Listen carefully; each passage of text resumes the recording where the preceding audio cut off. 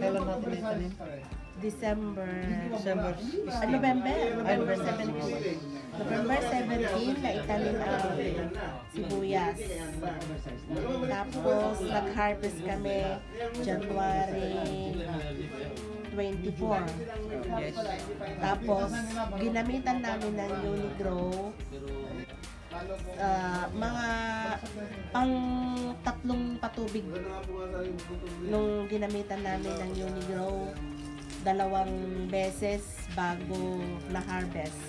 Kaya ang naging Resulta, resulta malalaki. malalaki. Tapos nauna siyang naani, nauunang naaani kaysa sa dating pagkaani.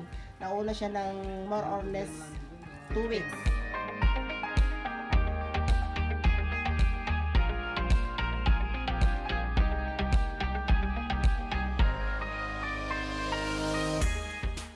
Yun ang epekto ng Unigrow. Maganda ang bulas ng sibuyas, mabigat at saka mahaba ang Dahon. dahon. At saka hindi siya kapitin sa lalong-lalo na sa uod. Parang ang naaano yung uod, yung mahina ang ano niya. Resistance.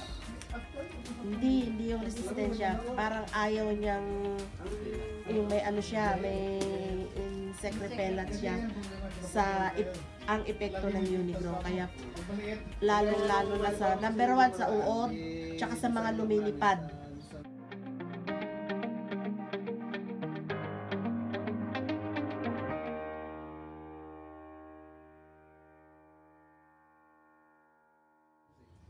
Maganda ang epekto. Ang harvest namin, ah, kung kinilo po namin, humigit kumulang siguro nasa, kasi kinenta ko eh, nasa 1.8, kulang na 1.8 lahat. Pera pa po yung mga maliliit, yun sa malalaki lang. Ang benta namin naman, 40 sa ano, sa isang big case. 2.5 ang isang big case.